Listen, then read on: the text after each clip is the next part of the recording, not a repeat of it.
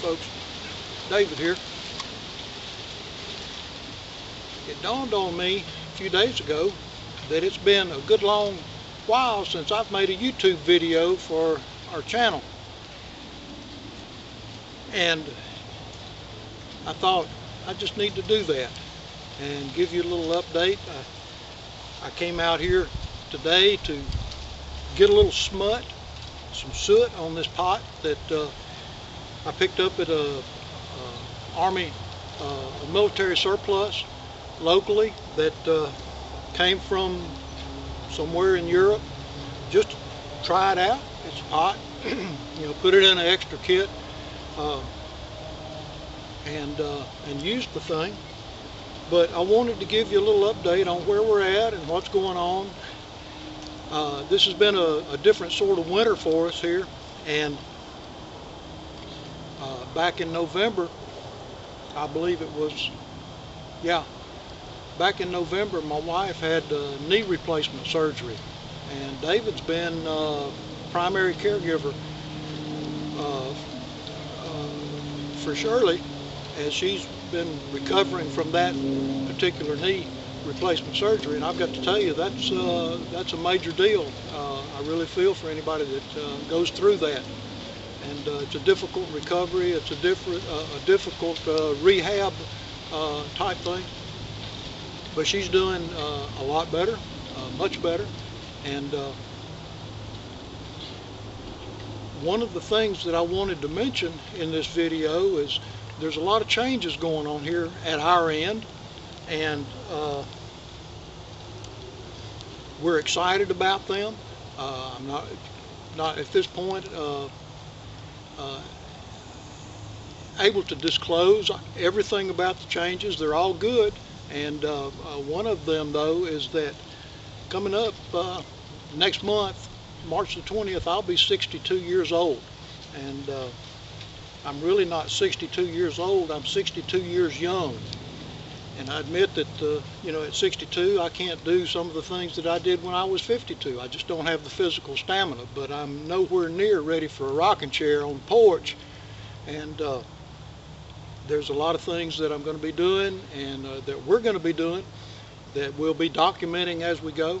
And uh,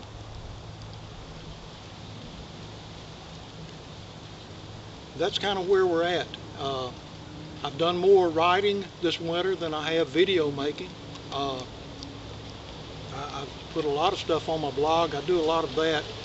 And for those of you that uh, that haven't already, uh, look me up on Facebook. I'll I put stuff on there that uh, uh, videos and uh, blogs and, and things that are related to woodcraft, bushcraft, whatever craft you want to call it uh, self-reliance, uh, self-reliance skills, and one of the things, speaking of self-reliance skills, one of the things that has, excuse me, the hot chocolate is good.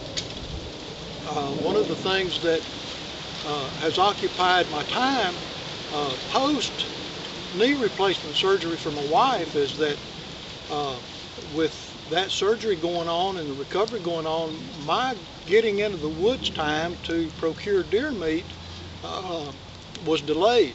And here we've got uh, Wednesday coming up, the, the 10th of uh, February. Uh, our season, our deer season closes here. So I'm in the process of here these last few weeks trying to uh, procure from the woods, from the woodlot, uh, all of the meat that that we need to put in our, into our freezer. And I've been processing. I've processed several deer, and uh, I haven't killed all the, of them. There's some very benevolent people around that that make contributions to our freezer and to the freezers of others, and uh, I, we always appreciate that.